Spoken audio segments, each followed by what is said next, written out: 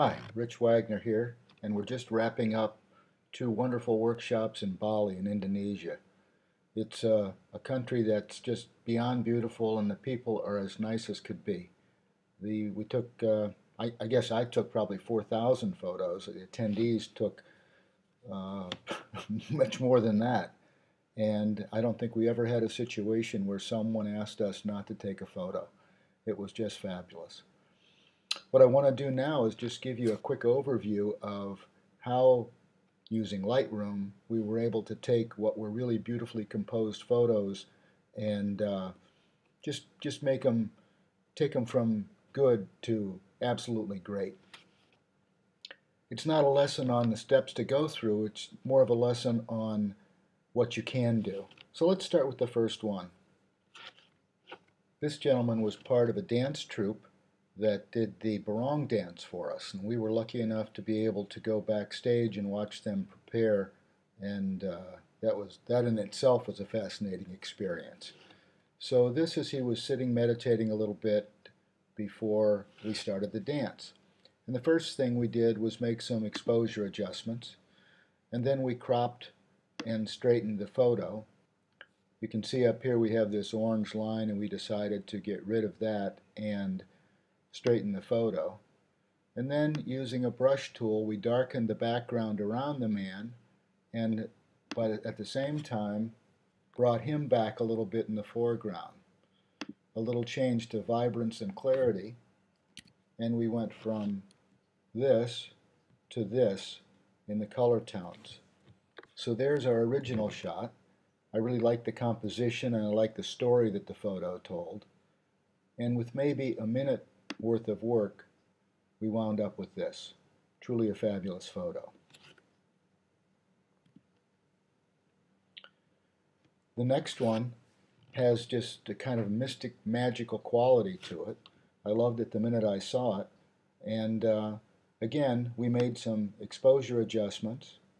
We did a little straightening of it and brought in a little more saturation here on the trees to the left, but we still kept that kind of mystical, smoky look to it. So if we look at the before and after, we went from this to this. Let's take a look at them side by side. You can see the before where we're, you know, just a little bit, well, photographers call it flat, and we added just a little punch and really brought out the dreamy quality of this photo. Bali has rice fields that are beyond belief. The, each village, and, and usually each family in the village, has their own rice field. And they go on for miles and miles and miles. And I have some just absolutely fabulous photos. But I love this one from an attendee. When it came in, it looked like this. And I, each rice field has a small temple for offerings and this is exactly what this little tin-shaped hut is. The attendee just captured the perspective here to really make that such an important part of the picture. And it's a, an unusual view. So uh, we started to work with that and using a graduated filter we brought in we brought the sky down and that forest down so that it becomes a less important part of the picture by darkening it selectively. We added some vibrance to the rice and, and uh, mostly to the greens in the rice.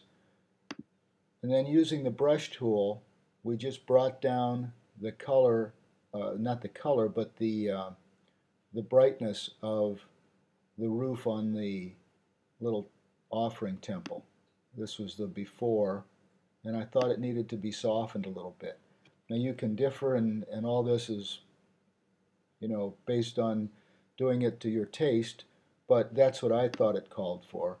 And then I added some mid-tone contrast with clarity.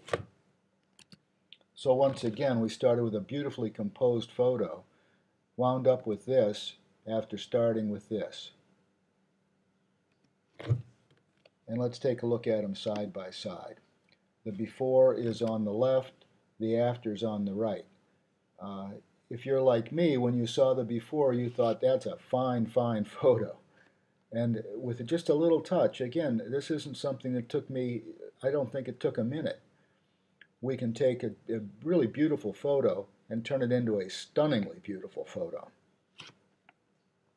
And now I'm going to throw in one of mine so you can see that uh, all of us can take our great photos and make them fabulous photos with a little bit of Lightroom work. So this is that rehearsal that I mentioned earlier before the barong dance, and I love the fact that you can see her putting on her makeup using a very old mirror that is backed with an old piece of cardboard. And uh, she's absolutely a beautiful woman.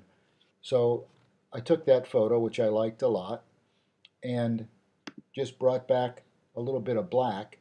Here's the before the black, here's after the black. So we gave it a little contrast. And then I threw in a little vignette to darken the corners and draw you into the center part of the, of the picture. Here's the before and the after.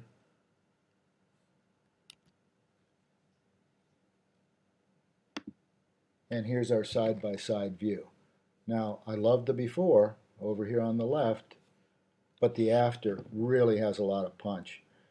So all of these are techniques that we talked about in Lightroom to take, starting with a well-composed photo, to take that photo from uh, a good starting point to just a fabulous shot that you'd be proud to hang on your wall or submit to stock or uh, use it illustrating a magazine article. So this is Rich, about to leave Bali, off to my 37-hour flight back to uh, home, and can't wait to get back here. What a fabulous country with just wonderful people. Happy shooting.